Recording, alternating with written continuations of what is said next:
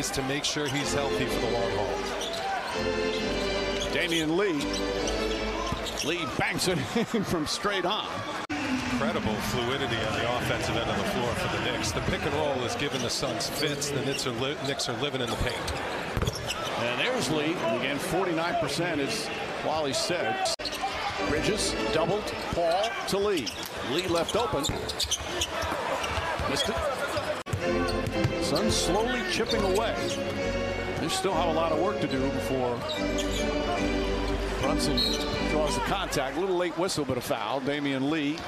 You know, veterans that can kind of pass the torch to young players uh, are so valuable to a franchise and so valuable to a team and a coaching staff. You know, it was like that too. Vince Carter was was a former superstar. Another three-pointer from the corner. This time, Damion Lee, and it's back to 20.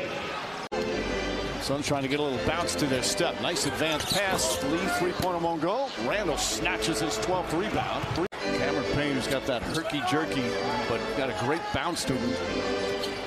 Trying to find some room. Damion Lee down the lane. The runner's up and good.